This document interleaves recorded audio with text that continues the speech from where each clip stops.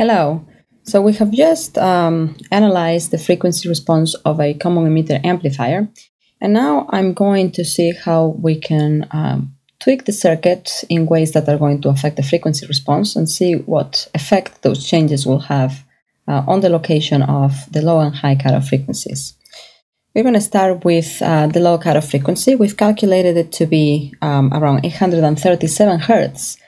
And um, what if, let's say, that was too high for us and we wanted to set it lower than that? Let's imagine we wanted to lower it by a factor of 10, or we wanted a low cutoff frequency of um, 83 hertz instead. So, um,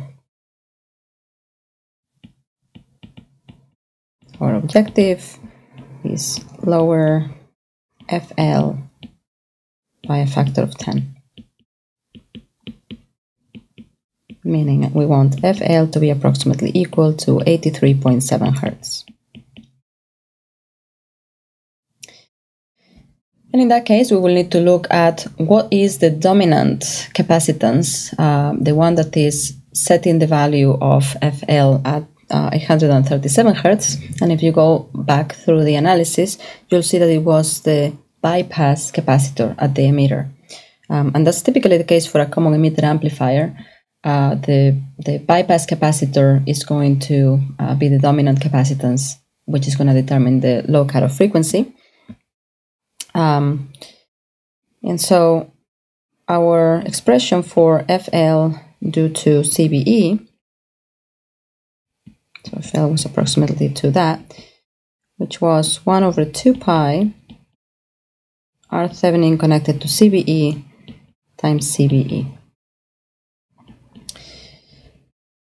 Um, now we don't, uh, you know, if we wanted to increase or decrease, excuse me, FL by a factor of 10, uh, we will have to increase the denominator of this expression by a factor of 10.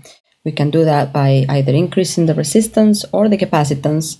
Now, the resistance is going to be something that's going to be more difficult to play with. Um, the reason for that is it's going to, you know, as, as soon as we start modifying um, R1, R2, it's going to play a role into the DC bias point of our circuit. And so we will typically play with the capacitor values to try to move our cutoff frequencies one way or the other. Um, and so I have, you know, for CBE,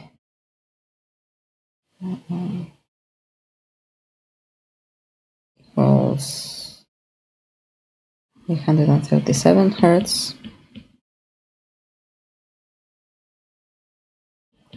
for FL prime equal to FL divided by 10 increase CVE by a factor of 10.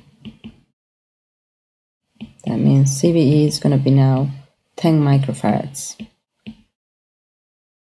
And so I can calculate my FL prime, which will be equal to 1 over 2 pi R7 3. Uh, and I'm going to call this CVE prime to indicate that that's the capacitance that has changed.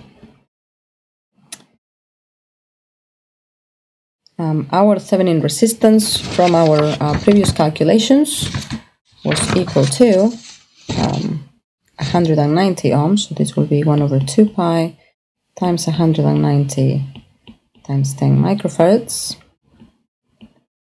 And we can see that this in effect will give us a cutoff frequency of around 83.7 Hertz.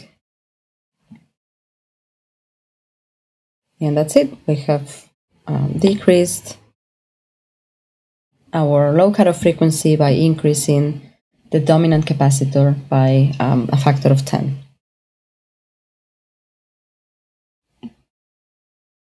And we can go ahead and enter that result into our circuit. So 10 microfarads. And um, I'll also go ahead and update our FL expression here. Now our FL prime is equal to 83.7 Hertz. Thank you.